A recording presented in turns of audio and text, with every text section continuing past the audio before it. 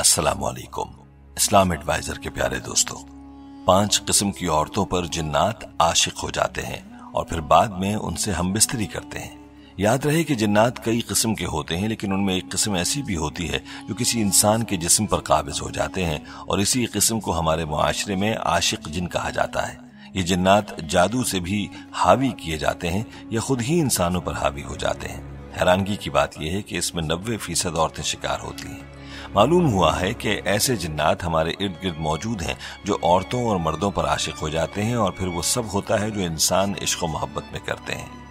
दोस्तों, याद रहे कि जिन्नात में भी औरतें और मर्द, बच्चे और बूढ़े सभी होते हैं, जिस तरह के इंसानों में होते हैं, इसी तरह जिन्नात में भी होते हैं। जिन्नात औरतों पर मर्दों की नस्बत बहुत जल्द काबिज हो जाते हैं और उन पर आशिक हो जाते हैं। सोचने की बात यह है कि औरतों पर जिन्नात आसानी से क्यों काबिज हो जाते हैं और औरतों से जिन्नात हम बिस्तरी कैसे करते हैं?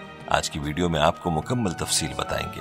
वीडियो को आपने स्किप नहीं करना और आखिर तक क्लास भी देखना है। दोस्तों, दरूद पाक की बरकत वाली दुआ में शामिल होने के लिए चैनल को सब्सक्राइब और लाइक ताकि बरकत वाली दुआ में आप भी शामिल हो जाएँ। प्यारे दोस्तों तो चलिए जानते हैं कि औरतों पर जिन्नात के असरात ज़्यादा क्यों होते हैं, यानी जिन्नात औरतों पर जल्दी काबिज क्यों हो जाते हैं? तो याद रहे कि औरतें मर्दों की नस्बत ज़्यादा कमज़ोर अकीदा रखती हैं। वो कम पढ़ी लिखी होती हैं और सुनी सुनाई बातों पर बहुत जल्द यकीन कर लेती हैं और हर बात को अपने दिमाग पर सवार कर लेती हैं। इसी वजह से कहा जाता है कि जिन्नात आसानी से ऐसी औरतों पर हावी हो जाते हैं और उन पर काबिज और आशिक हो जाते हैं। इसके अलावा इसकी एक वजह यह भी बताई जाती है कि औरतें वहम परस्त होती हैं और मर्दों के मुकाबले में औरतों में ये बीमारी ज़्यादा पाई जाती है। इसके साथ एक वजह यह भी बताई जाती है कि औरतें मर्दों के मुकाबले में बुजदिल और कमज़ोर दिल होती हैं। यही वजह है कि जिन्नात आसानी के साथ औरतों पर हावी हो जाते हैं। दोस्तों, ये भी बताया जाता है कि ऐसी औरतें जो अपने बालों की हिफाजत नहीं करती और पर्दा नहीं करती, ऐसी औरतों को भी जिन्नात ज़्यादा तंग करते हैं। जैसा कि पहले भी ज़िक्र हुआ कि जिन्नात की बहुत सी इकसाम है, लेकिन इनमें एक किस्म ऐसी भी है जो इंसान के जिस्म पर काबिज हो जाती है और याद रहे कि ज़्यादातर जिन्नात को जादू के ज़रिए से इंसान पर काबिज किया जाता है। याद रहे कि जिन्नात के इंसान पर काबिज होने की वजह नमाजों की पाबंदी न करना है और बेपर्दगी करना है। इसके अलावा गाने बजाने, सुनना और दुआओं का एहतमाम न करना। ज़्यादातर बरहना हालत में रहना भी इसकी एक बड़ी वजह है। घर की छत पर बाल खोलकर बैठने वाली औरतों पर भी जिन्नात बहुत जल्द हावी हो जाते हैं। कहा जाता है कि जिन्नात जिन औरतों पर काबिज होते हैं, वो औरतों के साथ हम बिस्तरी भी करते हैं और ऐसी औरतें अक्सर खुद से जिना होते हुए देखती हैं। कभी करीबी रिश्तेदारों की शक्ल में या फिर शोहर की शक्ल में और कभी कभार गैर मर्द के साथ जना देखती हैं। ऐसी औरतों के जिस्म पर नीले रंग के निशानात पड़ जाते हैं। कभी जिस्म के ऊपर नाखून के निशानात पाए जाते हैं।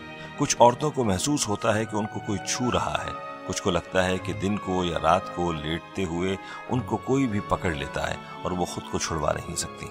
ये सब इस किस्म के जिन्नात के असरात होते हैं, जिनको आशिक जिन कहा जाता है। प्यारे दोस्तों, जादू से काबिज कराए गए जिन्नात की बहुत सी निशानियाँ होती हैं, जो इंसान महसूस करता है। अगर आप अपने अंदर ये निशानियाँ महसूस करें तो आपको समझ लेना चाहिए कि आप पर जादू करवाया गया है, या आप पर जन्नात का असर है, और कोई जिन आप पर काबिज है। आपको ये निशानियाँ भी बताएँगे, लेकिन पहले आपको उन पाँच औरतों के बारे में बताते हैं जिन पर जिन्नात आशिक हो जाते हैं। नंबर एक, छुप कर खुले बाल लेकर ज़्यादा देर तक बैठने वाली औरतें। नंबर दो, बेपर्दगी करने वाली औरतें। नंबर तीन, गाने बाजे सुनने वाली औरतें। नंबर चार, खुशबू ज़्यादा लगाने वाली औरतें। नंबर पाँच, ज़्यादातर बरहना हालत में रहने वाली औरतें। प्यारे दोस्तों, ये वो पाँच किस्म की औरतें हैं जिन पर जिन्नात आशिक और काबिज होते हैं। चलिए अब आपको वो निशानियाँ बताते हैं जो जिन्नात या जादू की सूरत में महसूस की जाती हैं। याद रहे कि जादू शुरू होने की चंद मखसूस निशानियाँ हैं, जिनमें सबसे पहले आपके कंधों में दर्द महसूस होना या कंधों पर बोझ महसूस होना शुरू होता है। ये दर्द ज़्यादातर कंधे के दाएँ तरफ़ से लेकर गर्दन के आधे हिस्से तक मौजूद रहता है, लेकिन बाज लोगों में ये दर्द उनके बाएँ कंधे से लेकर उनकी आधी गर्दन तक मौजूद रहता है। और इसके साथ साथ जब भी आप अपना मेडिकल चेकअप करवाएँ तो आपकी रिपोर्ट बिल्कुल नॉर्मल आती है। और इसी दर्द के साथ साथ ड्राउने या बुरे ख्वाब आना शुरू हो जाते हैं। यानी कि जब आप सोए हुए हो तो आपको ऐसा महसूस हो कि आप ऊंचाई से नीचे गिर रहे हैं, या आपको ऐसा महसूस हो कि जानवर आपका पीछा कर रहा है, या आप अपने आप को ख्वाब में बहुत ज़्यादा कमज़ोर और लाचार पाएँ, या गोश्त या गोश्त की खुशबू देखें या ख्वाब में बिल्कुल सुनसान जगह देखना शुरू कर दें, या ख्वाब में कोई चीज़ खाना महसूस करें तो याद रहे कि ये जादू शुरू होने की ही अलामत है।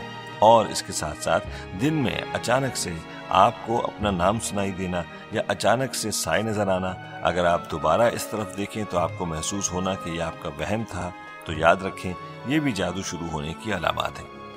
दोस्तों, इसके अलावा भी जादू की बहुत सारी निशानियाँ हैं, जिनमें कपड़ों का कट जाना, यानी आपने कपड़े बिल्कुल नए पहने हों, या अलमारी में धोकर बिल्कुल सही सलामत रखे हों, और जब आप अलमारी से वो कपड़े निकालें, और उन पर कट लग चुका हो, और वो कट इस तरह का हो, जैसे कैंची या ब्लेड की मदद से काटा हो। कीमती चीज़ें या आपकी रोज़मर्रा की चीज़ें चोरी हो जाना, जैसे आपका कंघा, आपका टूथब्रश, या कोई भी ऐसी चीज़ जो आप पहनते हो, आपकी ज्वेलरी या आपकी घड़ी, या कोई भी ऐसी चीज़ चोरी हो जाना। सीने पर बहुत ज़्यादा घुटन महसूस होना और ये घुटन खसूसी तौर पर असर की नमाज़ से लेकर आधी रात तक रहना।